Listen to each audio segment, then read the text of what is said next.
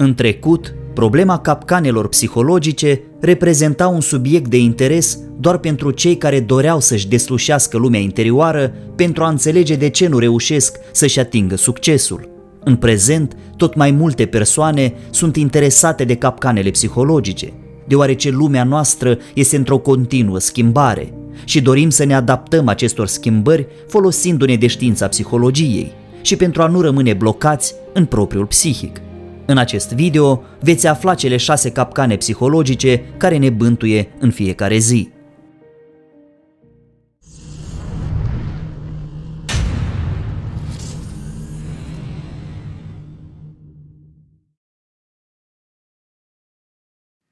Găleata cu crabi Un om se plimba pe malul mării.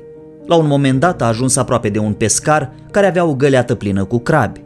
Ai face bine să acoperi găleata aia, fiindcă vor ieși toți crabii din ea, a observat omul. A, nu e nevoie, a zis pescarul înțelept. Când un crab se cațără pe marginea găleții încercând să iasă afară, ceilalți crabi se reped la el și îl tragă înapoi, pentru ca acesta să-și împartă soarta cu ceilalți. La fel se întâmplă și cu ființele umane. Teoria găleții cu crabi arată o mentalitate umană care se bazează pe principiul nici mie, nici altora. Din păcate, există în societate persoane care în subconștientul lor nu-și doresc ca vreunul dintre prietenii sau cunoștințele lor să-și schimbe viața în bine. Sunt ca niște crabi într-o găleată, care se agață unii de alții și nu-și lasă semenii să scape din găleată. Ei nu vor ca tu să-ți realizezi visurile și să-ți îmbunătățești calitatea vieții. De ce? Pentru că și ei visează la o viață mai bună. Își doresc să se lase de fumat, de exemplu, să se apuce de sport sau poate să-și înceapă o afacere și nu reușesc.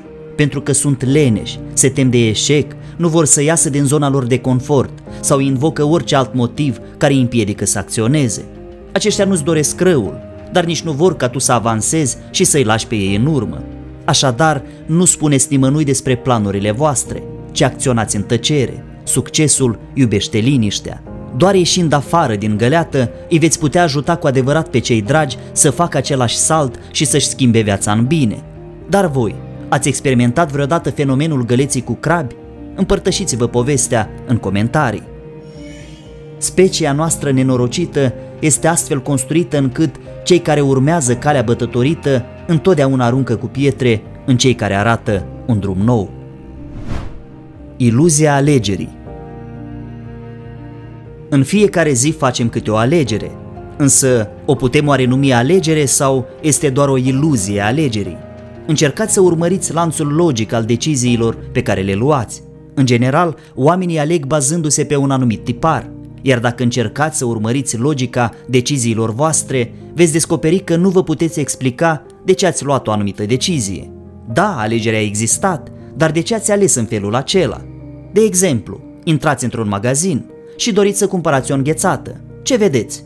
Înghețată de vanilie, înghețată de căpșuni, înghețată cu iaurt și fructe de pădure, înghețată de ciocolată la cornet, dar vă alegeți înghețată de caramel.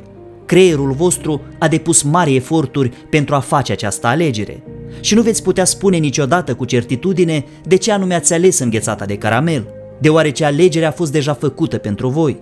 Atunci când trebuie să facem o alegere, se pun în mișcare lanțuri asociative și logice, care se bazează pe experiențele pe care le-am avut la un moment dat în viață. Experiența acumulată este în general impusă din exterior. Alegerile sunt influențate de percepții care sunt de asemenea impuse din exterior, deoarece percepțiile sunt un produs al mediului în care vă aflați. De fiecare dată când facem o alegere, cădem în capcana unor convingeri pe care le credem a fi ale noastre. Așadar, pe viitor, când veți face o alegere, fiți conștienți. Dintre toate plăcerile, iluzia e prima. Zona de confort De ce este important să ieșim din zona de confort? Productivitatea este direct legată de nivelul de confort, astfel încât atunci când o persoană intră într-un mediu necunoscut, nu numai că dobândește noi cunoștințe și descoperă oportunități inaccesibile anterior, dar devine și un lucrător mult mai eficient. Dacă viața se desfășoară fără griji sau provocări și dacă faci aceleași lucruri obișnuite în fiecare zi, înseamnă că nivelul tău de confort este ridicat. Și atunci de ce să schimbi ceva și să ieși din zona de confort când totul decurge foarte bine? Trebuie să vă părăsiți zona de confort pentru a intra într-un mediu necunoscut. În astfel de condiții, un om își activează toate rezervele interioare și începe să muncească mai mult, pentru că vrea să revină cât mai rapid în mediul obișnuit. Astfel se ajunge în zona de învățare, unde se dobândesc rapid noi cunoștințe și se depune mai mult efort. La un moment dat, zona de confort a unei astfel de persoane se extinde considerabil și se unește cu o parte din zona de învățare. Există însă un pericol. Dacă persoana care a ieșit din zona în care se simțea în largul său experimentează în mod constant stări similare anxietății, ea va cădea nu în zona de învățare, ci în zona de panică. Așadar, lansați-vă provocări potrivite, faceți lucrurile treptat și nu vă asumați mai mult decât puteți face față. Viața începe acolo unde se termină zona de confort. Deja vu Nu toată lumea înțelege ce este de fapt un deja vu. Deja vu este o tulburare a funcției creierului și apare atunci când o persoană este foarte obosită, bolnavă sau împrejurările vieții s-au schimbat. Tulburarea apare la nivelul hipocampusului, partea creierului responsabilă de identificarea analogiilor în memorie.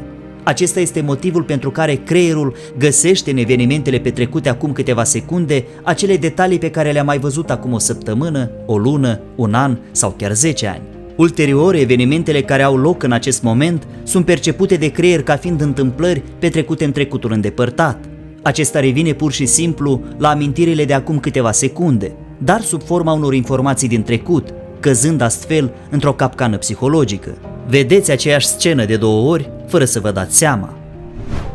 Anticiparea emoțională Vi s-a întâmplat vreodată să nu mai simțiți acea emoție pozitivă atunci când dorința mult râvnită devine realitate?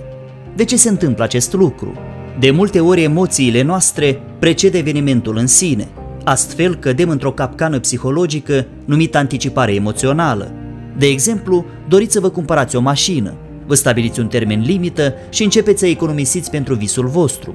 În timp ce economisiți bani, aveți în permanență convingerea că, atingându-vă obiectivul, veți obține nu numai mașina în sine, ci și o mulțime de alte emoții pozitive.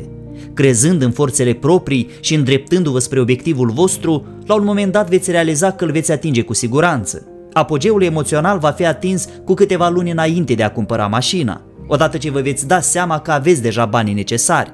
Nu va trece mult timp până când veți deveni proprietarul mașinii.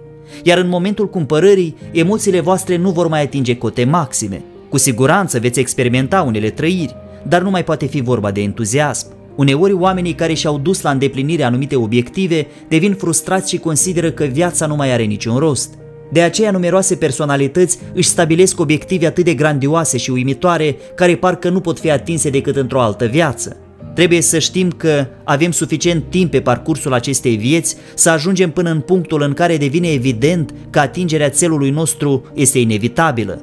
Această abordare vă va scăpa de frustrări, de nonsens și de alte consecințe nefericite.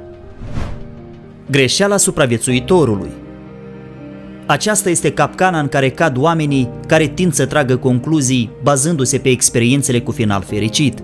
Ascultând povestea unei persoane salvate de un delfin, ei vor ajunge ușor la concluzia că toți delfinii, fără excepție, sunt cele mai bune creaturi. Aceștia nu se mai gândesc la faptul că oamenii care au fost împinși de delfini spre largul mării și nu spre țărm nu au nimic de spus despre bunătatea acestor mamifere. Această capcană psihologică îi determină pe unii oameni să copieze comportamentul indivizilor care au avut succes și să spere că astfel de acțiuni îi vor duce și pe ei către succes.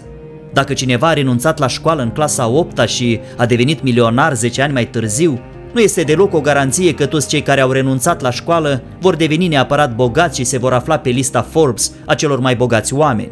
Pentru a deveni o persoană de succes și pentru a vă atinge obiectivele, trebuie să luați în considerare nu numai experiențele supraviețuitorilor, dar să țineți cont și de acțiunile celor care nu au reușit în viață, pentru a nu le repeta greșelile și pentru a nu ajunge în aceeași situație.